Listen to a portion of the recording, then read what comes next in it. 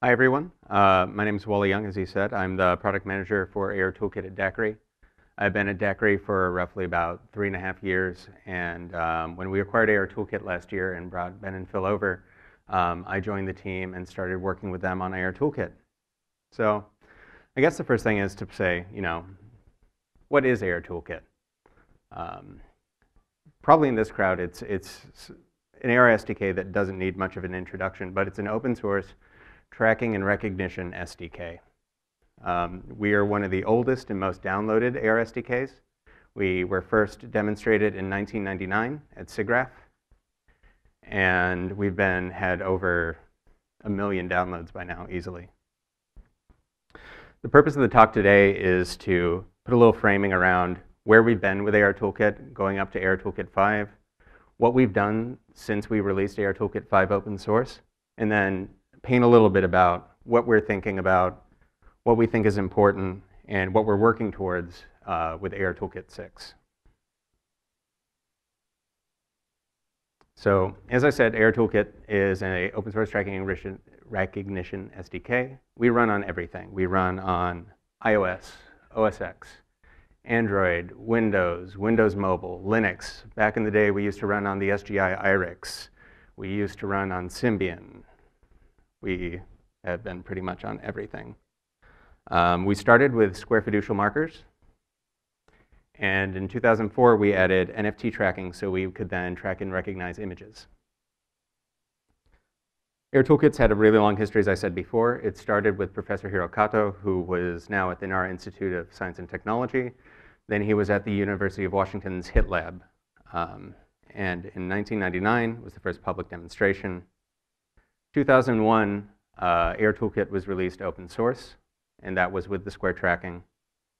In 2001, they also incorporated ARToolworks, which began selling a pro version of AR Toolkit. That's where Ben and Phil, who are on our team, join us from. 2004, NFT, or image tracking, was added to AR Toolkit. We also released version 2 open source that year. In 2008, we added iPhone 3G support and then continued to develop on the platform. 2011, we added Android support and continued platform support. This is when we added Windows uh, Store SDK, so you could run on both Windows 8 desktops and the Windows mobile platform. And then 2015, we were acquired by DAQRI. Pro version, everything that was done has been open sourced. Um, there's been numerous spin-offs from AR Toolkit. We've had FLAR Toolkit, which brought AR Toolkit to Flash and ActionScript. We had NyAR Toolkit, which brought AR Toolkit to C Sharp. It's been really popular in Japan. We've had JSAR Toolkit, which is recompiled for JavaScript. I have some really cool stuff to announce about that. And there was SLAR Toolkit, which was ported for Silverlight. But what have we been doing in the past year? So AR Toolkit was announced uh, free and open source last year at AWE. And the past year has been great for us. We replaced the SURF algorithm with the FREAK algorithm, which meant AR Toolkit is now is completely open source and free to use. Um, there are some patent complications around SURF. FREAK is an algorithm that we can use for free, so there's no complication to using this in a commercial or a private app. We were integrated into the Unreal Engine twice by community members. Um, one of them is for sale on the Unreal Store. I believe the other one is coming to open source soon. We were integrated into the OSVR project. If you guys don't know open source VR, it's, uh, I think it's primarily done by Razer, but it's a great open platform for VR. They have their own reference hardware. And we took AR Toolkit 5 and we recompiled it with Emscripten to run JavaScript. So now AR Toolkit 5, the latest version, is back in the browser.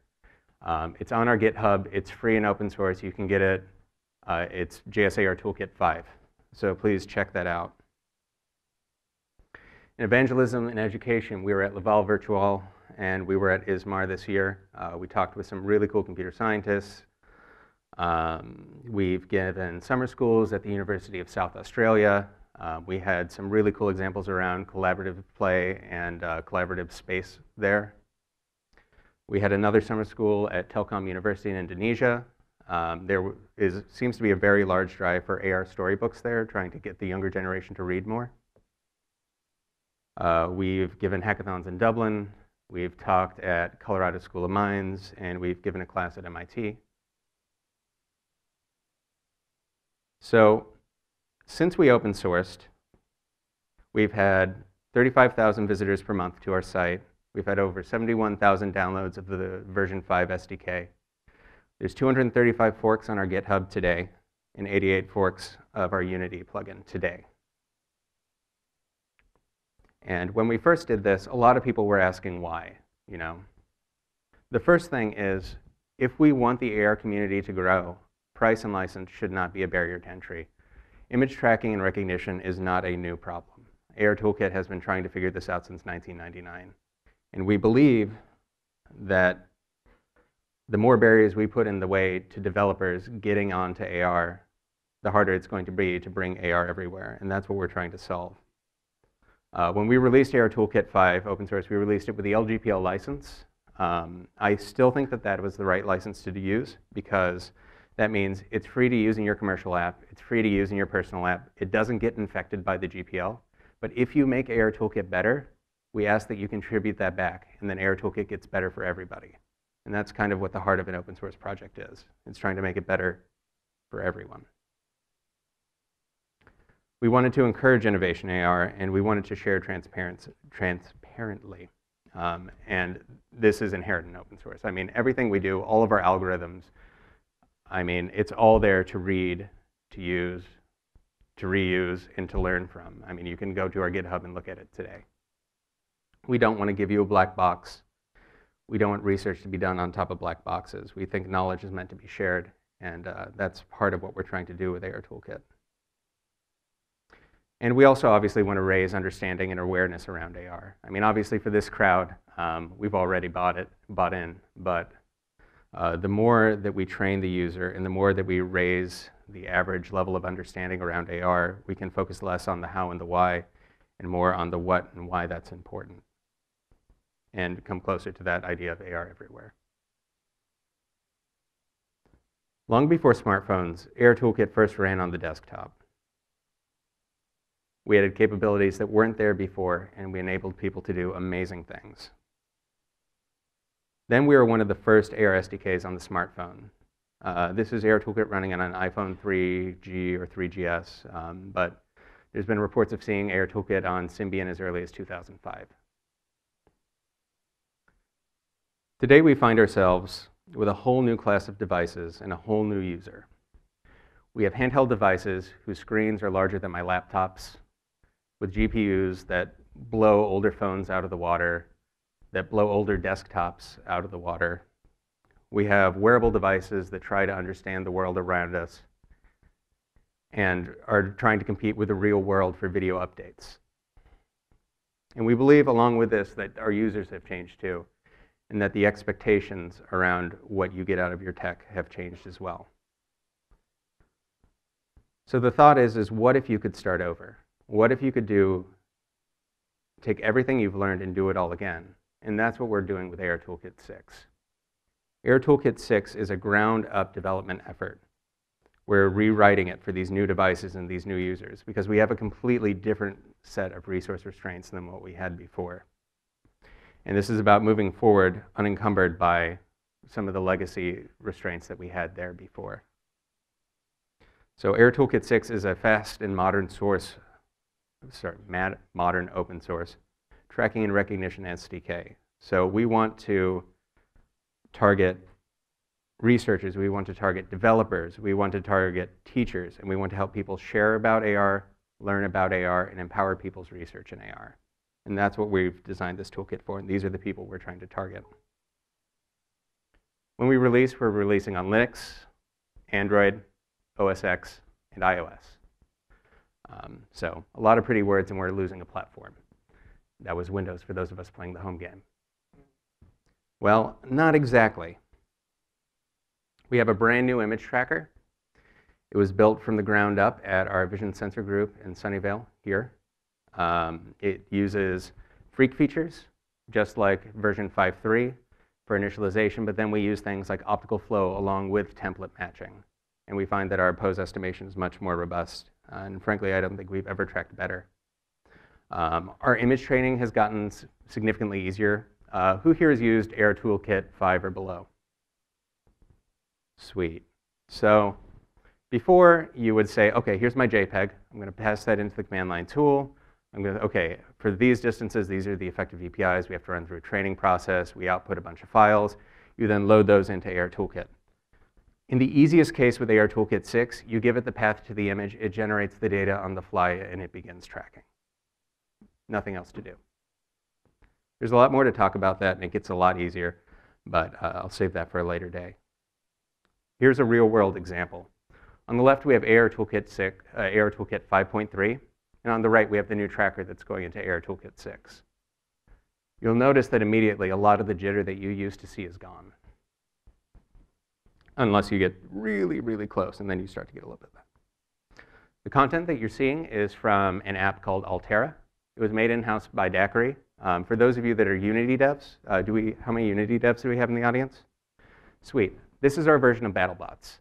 Um, it's going to be shipping with AR Toolkit 6, and it's going to show you how best to use AR Toolkit. And we're giving all of the assets and materials around this for free as well.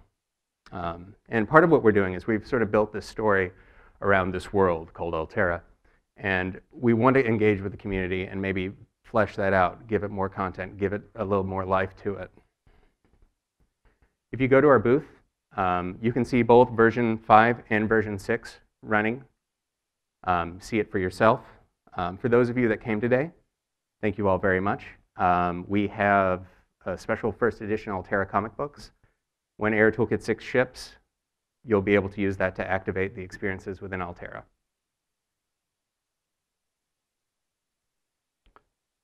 We also have a planar tracker. And this is sort of cool because I don't think many developers have had the option to do this before where you open up a camera feed and then we try and find a plane. Once we find the dominant plane, we begin tracking that plane.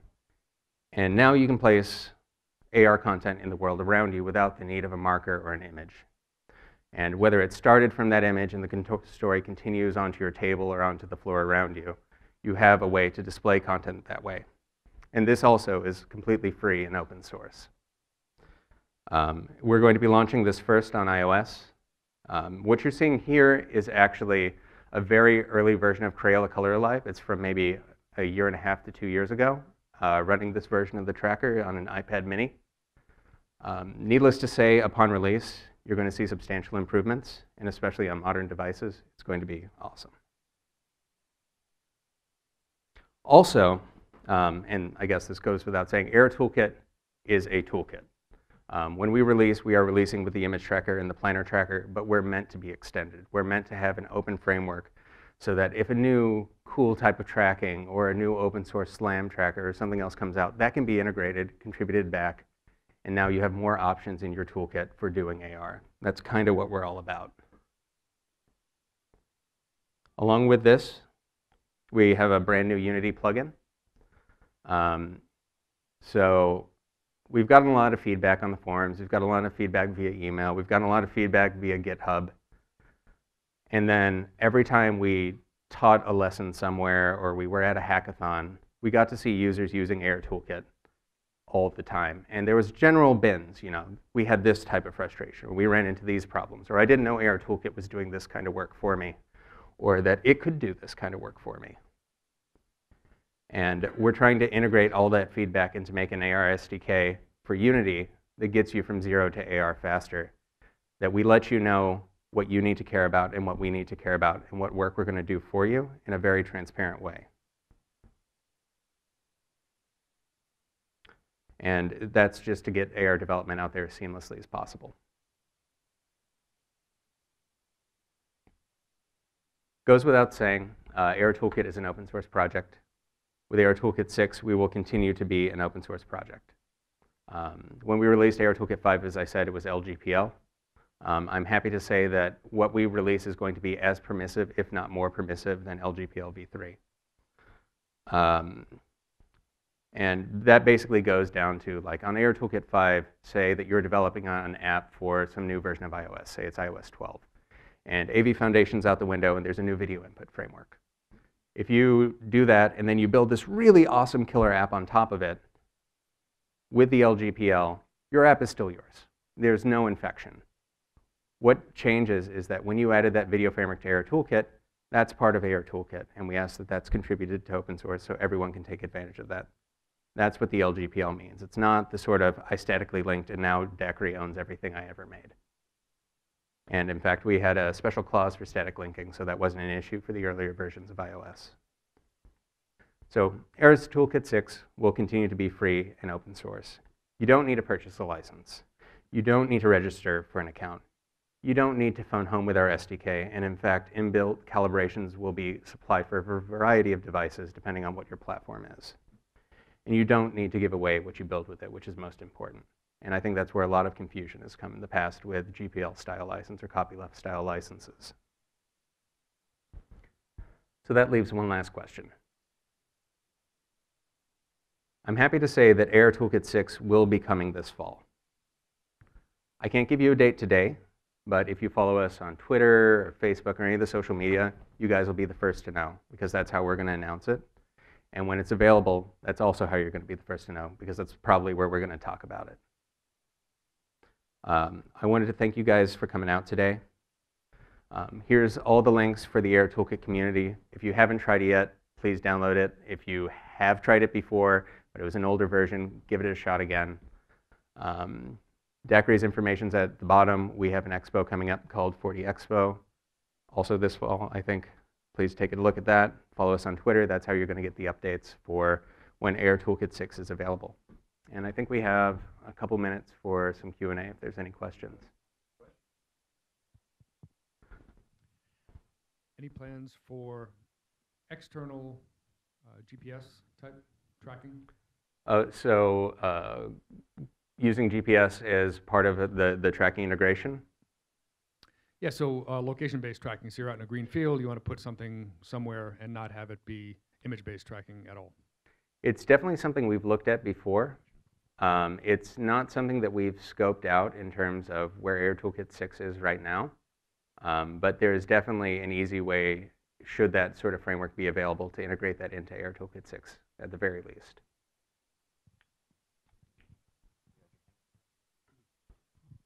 Hi. Um, augmented reality is not only visual. Are there any plans to add additional sensor support? Or Abs- absolutely. Um, and actually, that's one of the reasons the planar tracker is only coming out on iOS first. It's IMU assisted. So um, we're, use, we're fusing both the camera with the IMU to be able to sort of get that more accurate pose when you're only tracking off of the prepared, unprepared surface. I saw a question over here. Uh, what about 3D object uh, tracking? Is, is your image tracker just 2D right now, or is there any Yeah. thoughts for moving into 3D and occlusion related to that? hmm So uh, right now, the tracker is a 2D planar tracker. So we track planes. Um, obviously, there are some ways to fake it. You can determine planes at ob- arbitrary angles, but um, we don't have a 3D tracker for this right now. Um, and then what was the second half of your question? I'm sorry. Ah, so that's also not inbuilt yet, um, but we have a lot of devices coming that come with fused depth data, it's, and it would probably be a lot easier to do that now that we have RealSenses and all that being in commercial tablets and things. Any other question? Oh, Um, yeah, how, is there any life for the whole JS AR toolkit, the JavaScript? Absolutely. Um, so JSAR toolkit hasn't been specced out for 6 yet, but I'm sure we didn't resurrect it in version 5 just to put the nail in the coffin again.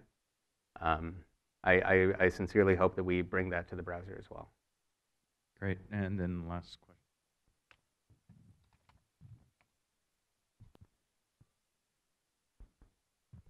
Thanks. That's great. Thank you. Have you any? Uh, do you have any published standards for dealing with multiple markers, uh, or just general uh, tooling around creating experience experiences that can travel through multiple markers coming in and going out? hmm So I, I guess there's a way that you can sort of create a UX around that on top of AR Toolkit. Um, it's certainly easier from something like the Unity layer where you can represent each trackable or each image as a single object in the scene graph. Um, in terms of AR Toolkit 6, there's going to be a lot of better tools around database management and sort of pre-hashing some of those images if you want to save time. And that should help you better organize your data for that sort of a thing. Um, but in terms of like the UX around multiple markers, aside from just representing them in space, um, that would be something that you would build on top of the AR Toolkit scripts.